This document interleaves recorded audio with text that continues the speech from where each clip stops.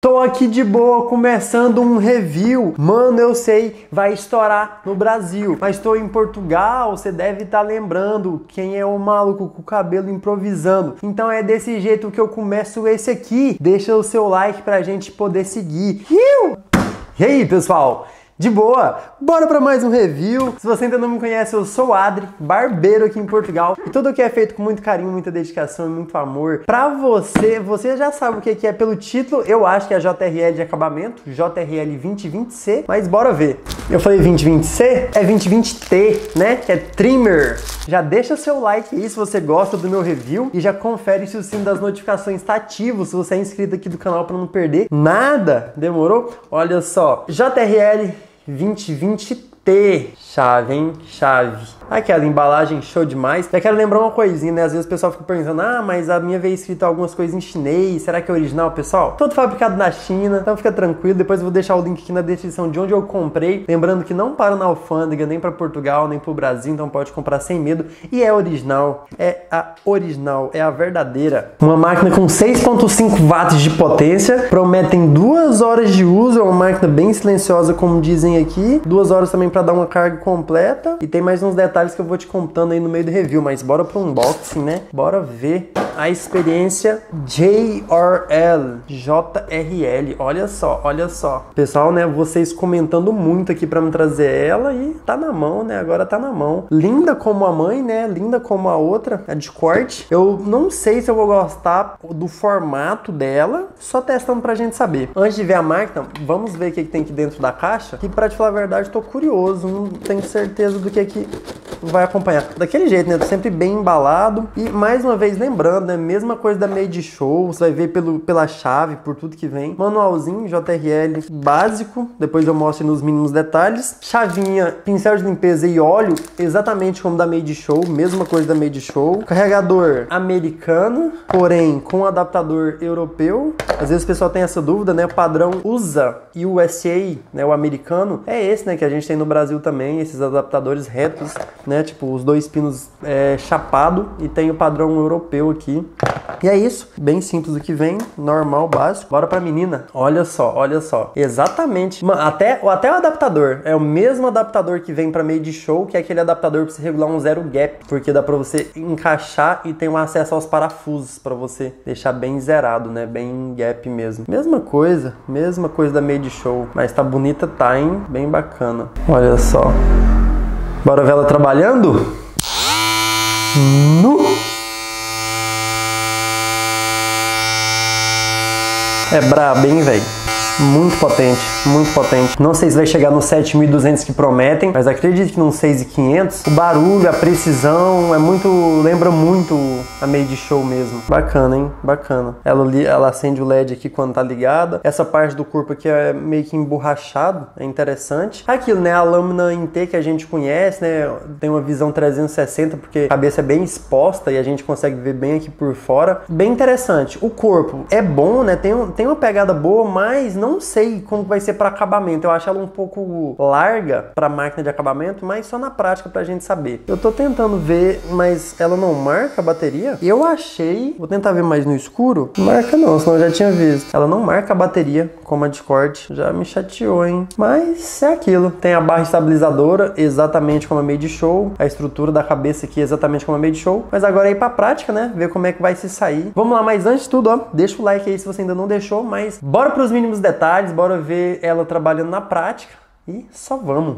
Hora de pesar, para a gente ter uma referência, eu vou pesar a WMark NG 2033, 180. Agora, a Made Show, 226 gramas. E agora a JRL, 210 gramas. Então tá intermediário, né? Entre essas três é o peso intermediário e tá 16 gramas mais leve que a irmã Made Show. Então é isso aí, tá? Um, é um peso razoável. Antes de ver, antes de ver o RPM, vamos ver os decibéis aqui. O ambiente está uma média de 32, 35.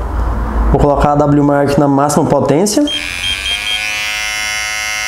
74. J, a Made Show 68. 68, 69.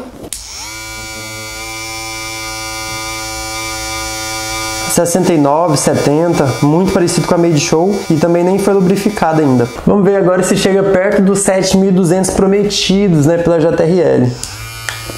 6.841, 6.806, manteve aqui no 6.806, 6.744, 6.723, 6.761, 6.511.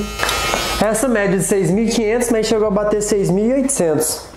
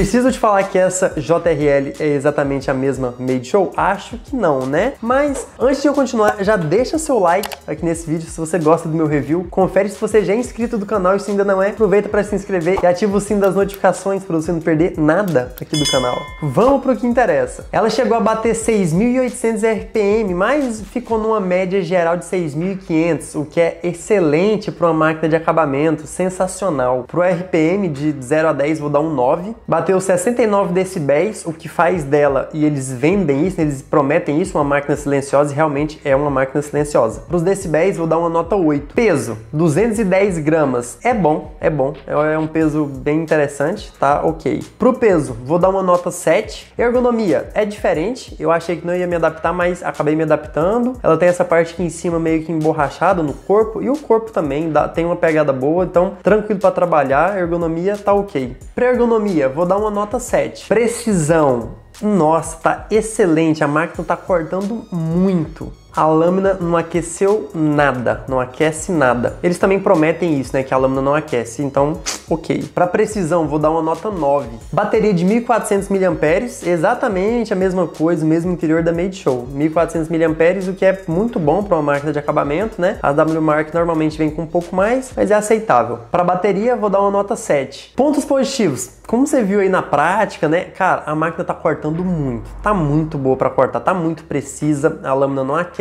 Tem essa, essa lâmina em T que tem uma visibilidade muito boa, né? Isso é bem interessante. É uma máquina silenciosa. Não tá entrando no folículo, entendeu? Não puxa, mesmo na barba. Eu utilizei na barba e ok. Então, tem a barra estabilizadora, que é mais um ponto positivo. Então, a máquina tá sensacional, entendeu? Já joga o selo Adri nela aí, que merece um selo Adri de qualidade, hein? Ponto negativo, ao meu ver, é não marcar a bateria. Eu acho que é o único ponto negativo que eu posso citar nela é exatamente isso, não tem um display marcando a bateria. Valor, tá 75 euros a média, vou deixar o link aqui de onde comprei do AliExpress, 75 euros. Vou deixar dois links porque às vezes tem de um, às vezes acaba, às vezes tem no outro, e um tá 75 e outro tá 80, média de 350 reais. Pelo custo-benefício, hum, eu acho que não tem máquinas de marca que, com, que brigam de frente, tanto com a JRL, com a Made Show, com a WMark 2033. A WMark 2033 não tem, não tem